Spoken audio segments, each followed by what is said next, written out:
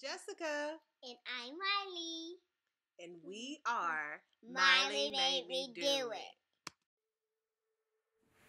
Hey y'all, this is your girl Jessica with Miley Made Me Do It and I am here with a new video for you guys. So we have a new pattern, a new little, little Lizard King pattern. Um, this is the new Parker pattern. It's super cute. It has um, a, a lot of different options. Let me go through them with you real quick and um, I'm just gonna tell you what I'm using jersey knit. I don't even know if that even matters, but it's a knit pattern, okay? A knit, um, you, you need to sew with knit. It's a knit pattern, I guess. Yeah, that's what I'm supposed to say. But, um, yeah, let me just tell you what I am doing today. Um, they have so many different options. They have the, um, ruffle version three tier ruffle version. They have a simple version. They have long sleeve version, just the flutter, like not the flutter, but the ruffle sleeve version short. Um, you can also, you know, get really um, crafty, not really crafty, but um, doing the ruffles with the long sleeve. That's another cute option. Um, and it has, yeah, and, and yeah, yeah, that's like, those are the different versions for it. I'm excited about it because you know your girl love to sew with knit. And when I sew with knit, you know um, I like to get the HeatnBond soft and stretch. Let me go get it real quick. Yeah, so I like to have the HeatnBond soft and stretch. Okay, like this, I'm telling you, the best freaking stuff ever. I love it. Make sure you get your pins and we're gonna get started. Well, nope, let me tell you what I got, okay? Because I'm gonna do the, the three tier version. So let me tell you what I got. Here, I have the bottom tier, middle tier, and it's two. You're gonna need two of them, okay? Two cut on the fold. Middle tier and the top tier. Also cut on the fold. I have my ruffles, which was cut on the fold. I got two of them. My sleeves, long sleeve, because it's gonna start getting cold. So I wanna start, you know, working on some, you know, cold weather outfits now. Um, so the I have two of the long sleeve. This is my back bodice, my front bodice here, and here's my neckband. Okay, so let's get started. Hey, hey, let's get started. All right, let's do this. Okay, so let's get started constructing our bodice. Okay, so what I'm going to do is I'm going to take my back bodice piece, put it right side up, and my front bodice piece and we're going to put them on top of each other just like this. So go ahead and pin on both sides at the shoulder seams using a 3 8 inch seam allowance and a stretch stitch. The stretch stitch can be um, a zigzag stitch or you can just take it straight to your serger and just serge the top. That's what I'm going to do, okay? So do that for both sides.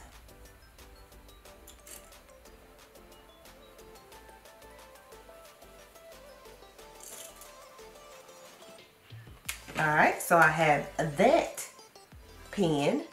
Okay, so because I am doing the um, ruffle sleeve, the long sleeve with ruffles version, I'm just going to take this to my machine I'm just going to um, sew at the top here and I will show you what that looks like when I get back. Okay, and while I'm here, and since I'm going to still be at the sewing machine, what I'm going to do is take my neckband and I am going to take that right sides together and pin and sew a 3 8 inch seam allowance to attach. So let's do all that at our machine and then we'll meet back up here. Okay, so I have my shoulder seams um, sewn together.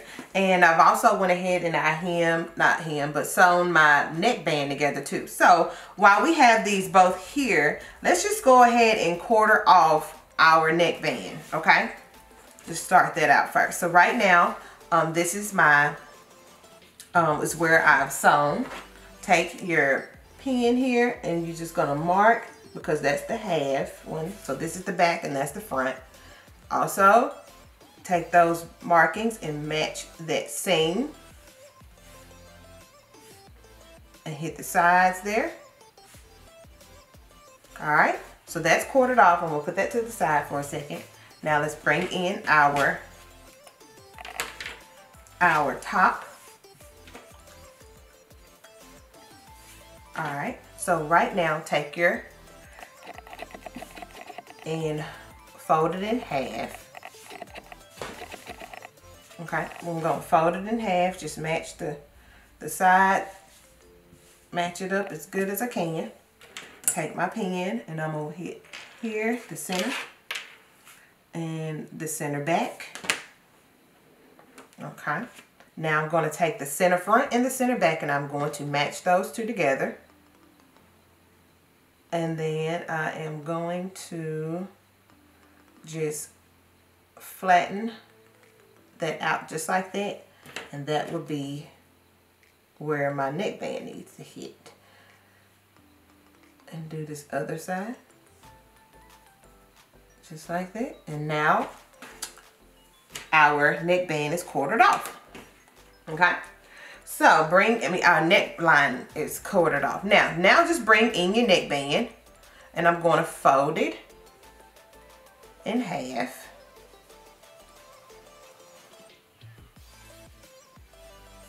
All right, fold my neckband in half here.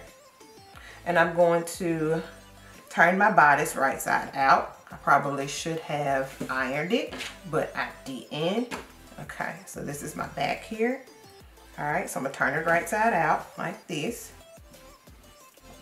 This is my back, and I'm going to match with right sides together. Well, yeah, right sides together, and also the raw ends touching here. Okay.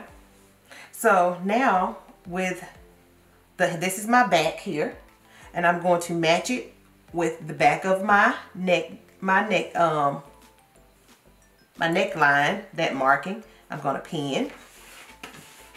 And then got my other marking right there. Find that marking and match and pin. Okay. Now let's find the center front. Got the marking. Match that up. We're just gonna do this. Hold on, boom. Other marking. Here. Find it. And boom, just like that. Okay, so now you're just gonna slightly stretch your neckband just slightly not too much just make it where it, you know it just fits perfectly okay? And pin all the way around.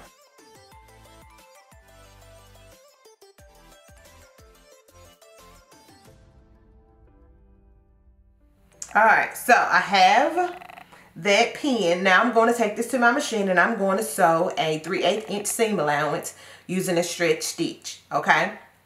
Either a zigzag or you can just um take it, take, um, use your serger. Okay, so I'll show you what that looks like when I get back. Okay, so our neckband is attached, um, and is this is optional, but if you want to go ahead and do a top stitch along that neckband, you can. All right, so now let's start on our ruffle sleeves, okay?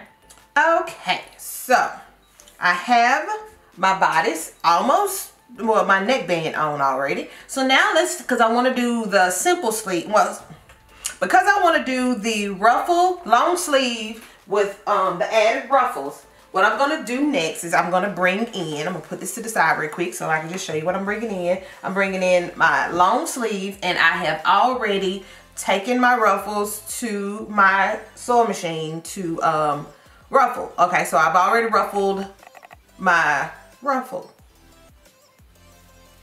yeah, I think that's how you say it. Okay. So, all right, this is going to be cute already. I already love it. All right, so now we just bring back in your bodice. And we're going to work on, you know, the different, you know, each side, okay, of the bodice. This right here. Okay, so we're going to work on each side of our bodice here. All right. Now, this is going to be super cute, super simple, and you're going to freaking love it. I already know it because, you know, I told y'all I mess up so you guys don't have to and I'm okay with it. okay, so what we're gonna do first, we are going to take our ruffle piece, okay? And we're gonna put it right sides together. All right, just like this. Okay, and it looked like mine was just perfect. Oh, ruffle that thing, baby, look good. All right, so right sides together and then boom, that's what we're doing. Okay, and we're gonna pin and then we're gonna baste our ruffles on, okay? So let's do that. We're gonna do that for both sides. Now,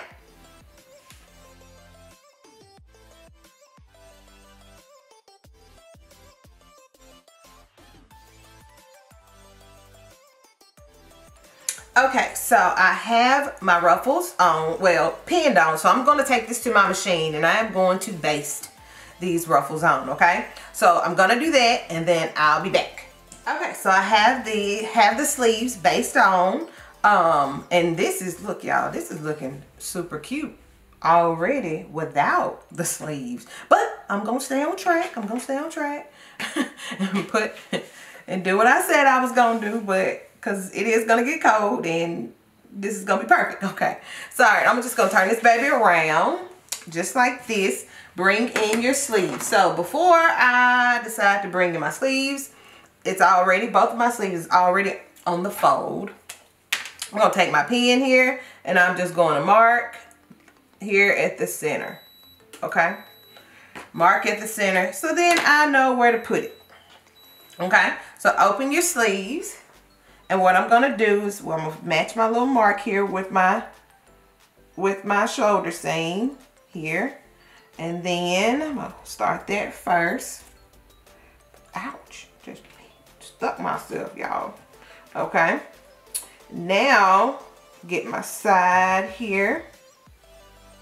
I'm going to match that. And this side. Match that baby up. And then I'm just gonna pin, pin my my sleeves along this um the sleeve sides. I'm gonna do that for both sides of them, okay? So let's do that.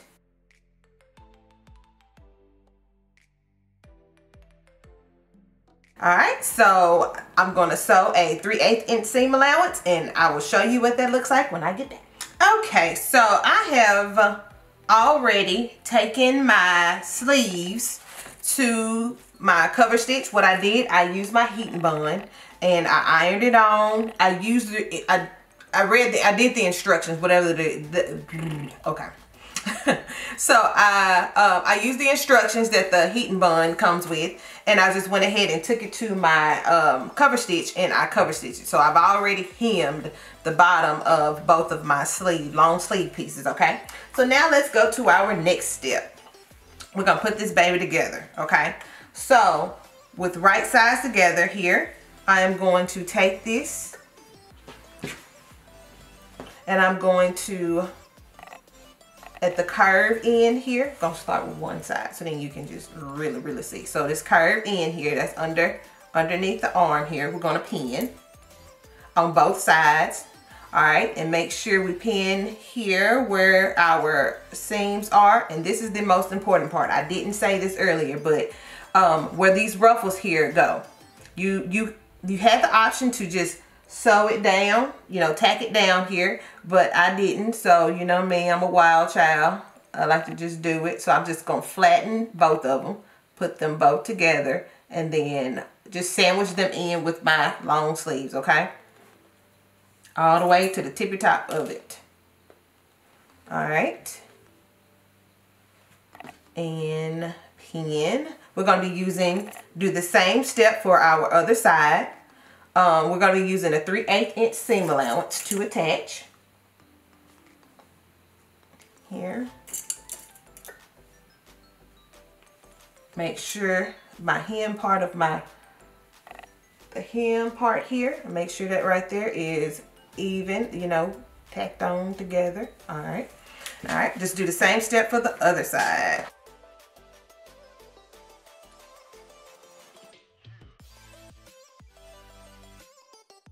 Okay, so what we're gonna do, we're gonna take this to our machine, so a 3 8 inch seam allowance to attach um, both our sides here, um, both of our sleeves and the arm here. And with using a straight stitch and I will show you what it looks like when I get back. All right, so I have my bodice done. Um, and I don't know. Okay, so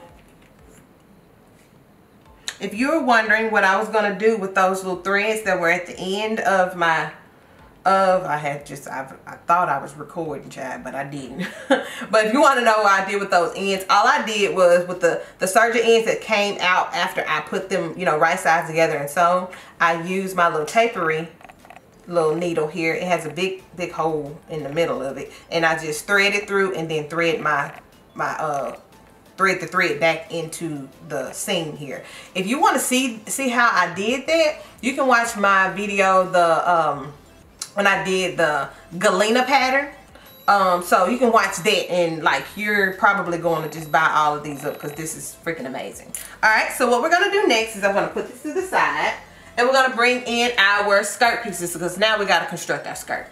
So we're gonna bring in our top skirt and if y'all know, I'm I just don't do things, you know, I don't I don't like to make those tubes and and just having to try to get it and fit it and gather it together. I don't like all that. So I just really want to work on one skirt piece at a time. So this is my top tier. This is my middle and my bottom tier. What I'm going to do is I'm not going to do anything with my top tier just yet. Okay, nothing yet. So I'm going to take my middle tier and my bottom tier and I'm going to take these to my machine and I'm just going to do a gathering stitch okay along the top here on both of them. And then I will show you what that looks like. I'm just going to pin everything separately. Um pin well do my skirt separately and then when I get them finished then I sew them down the side as a whole. So I wouldn't have to deal with trying to match up the tubes and all that stuff. Ain't nobody got time for that. So I'll show y'all what that looks like in just a moment. Okay so I uh, start over because I thought I had it. So this is my first tier. I've already gathered my second tier, second and my middle and bottom tier, okay? I've already gathered them. Now we're just attaching, okay? So like I said, we're doing one thing at a time. So I am going to just make my ruffles the same width and try to get them as even as I can. I mean, it may not be that perfect, but hey, it is what it is.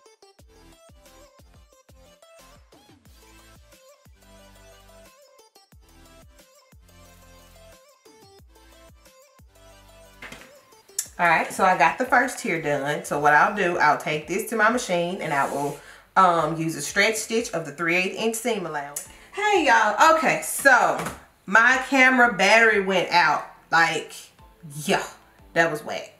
But as you can see here, I went ahead and I um, gathered my middle tier and my bottom tier to um, to the width of my, you know, of width of each other, okay? So this is one half of my skirt. And I said it's the front part of my skirt.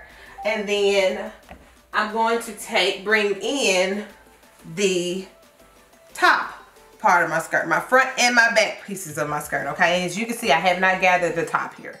And I am just going to take this and I am going to pin here along the sides. Let me go get my pin. Okay, so I'm going to pin on each side of my skirt. Ouch.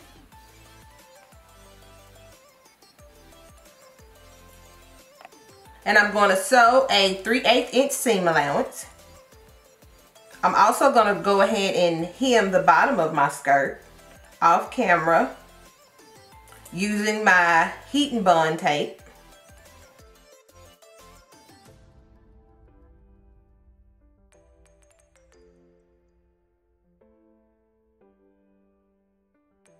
All right, so I'm gonna take this to my machine, sew both my side seams together using a stretch stitch or you just insert. I'm also off camera, I am going to hem the bottom of my skirt with my hem tape. And I will also gather the top of my skirt off camera. So I will show you what that looks like when I get back. Okay, so I have brought my bodice back out. I've already hemmed and gathered the top of my skirt. But I brought my bodice out because, um, so if you guys are wanting to use, um, like the, the clear elastic for your bodice and you don't have it at the moment, but you do have a local Walmart, go ahead, go ahead and like use this hem tape, okay? I use this hem tape for anything dealing with knit, like anything. Do you hear me? Like this is my go-to. All right, so get you some of this hem tape. And what I did, I read the instructions and I put the hem tape on the wrong side, like the uh, the raw edge, the wrong side of my fabric, okay? Because we want to do to have this for stability. Okay, cool. So I, I put that on first. All right. Read the instructions on the back. It'll tell you how to do it. Put that on. Boom. Just like that. All right. Don't worry about it gunking up your needle. Won't do that. Promise. All right. So bring in your skirt. All right. So I got my skirt here. Let me pull on that real quick so you can see. Mm-hmm. Okay, so bring in your skirt piece here. You probably can't see everything, but you know it's a skirt. And we're gonna make this, I already got it kind of gathered enough right now, but I'm gonna make it the width of my of my bodice. All right, so I got it about the same width, okay? So now take your bodice, right sides together, gonna open my skirt up, stick my bodice in, okay? We're gonna match the raw ends. I'm gonna match my side seams here. The side seam of my skirt to the side seam of my um of my bodice.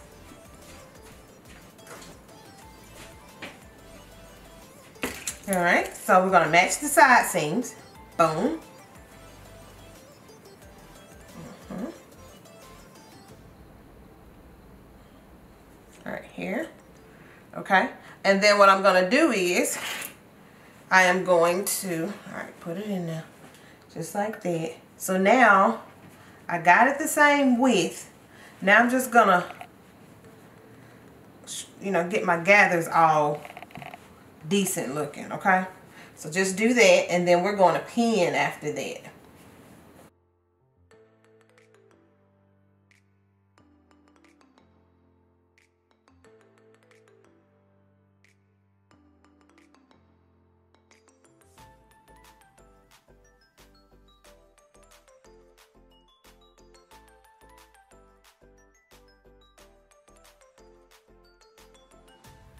Okay, so I have my skirt piece gathered.